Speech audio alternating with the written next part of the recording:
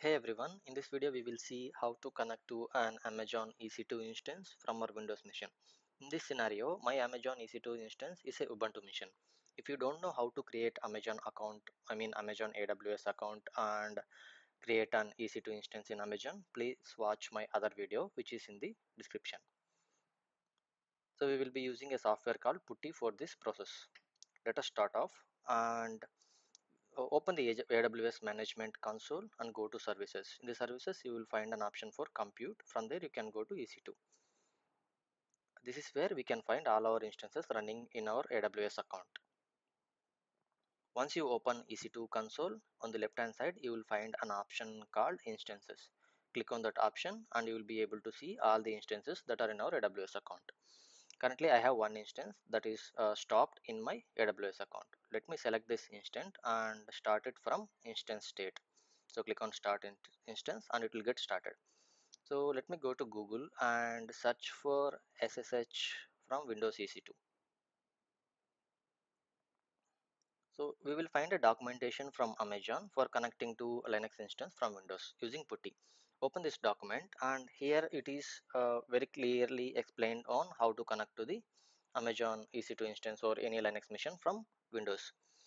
We can see the prerequisites here. We need to verify that our instance is ready. We have just started and it should have been uh, ready by now.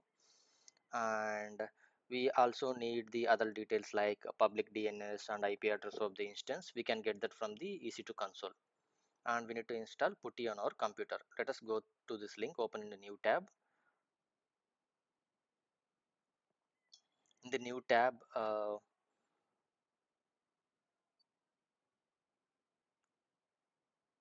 yeah here I have the link for downloading the putty click on download it and select the appropriate version so uh, I'm using 64-bit Windows machine and I'll download the Windows installer. So our download is started and it will take uh, less than 10 seconds to complete. So the download is now completed and I'll, I'll click on that downloaded exe file to install in my Windows machine.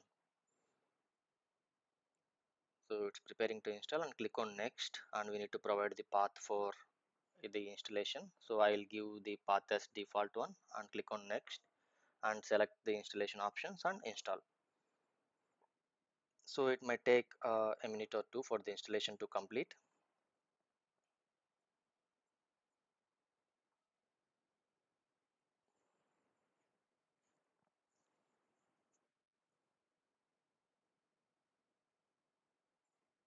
Yeah the installation is now complete and now we can click on the finish now go to the start button and click on windows and select the puttygen from here.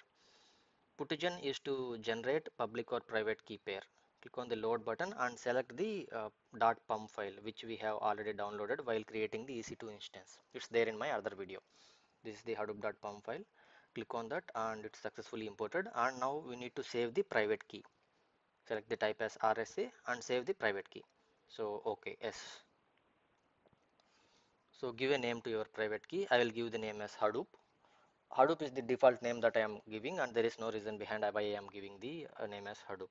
And the key will be saved as .ppk extension. And now go to the putty again from the start button.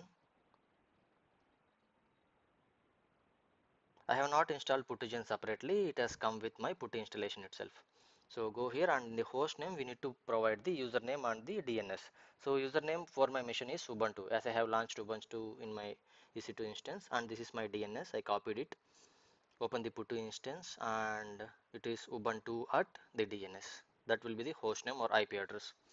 And I need to give that uh, ppk file which is the private key file. Go to connections and select SSH and authentication. There browse for the ppk file. I saved it in the desktop folder browse and go to desktop and select the Hadoop file. You remember that I named it Hadoop and open that file. So open and now it will open a session to the EC2 instance. I mean Ubuntu running on my EC2 instance. Clear the screen and whatever uh, commands we run here will be executed on the EC2 instance. Let me start off Python shell. And we can run like any command in Python like 2 plus 3 and we can do anything. Whatever that we do here will be running on the uh, EC2 instance if you like this content please hit on the like button and subscribe to my channel if you are interested in AWS and big data related content. Thanks for watching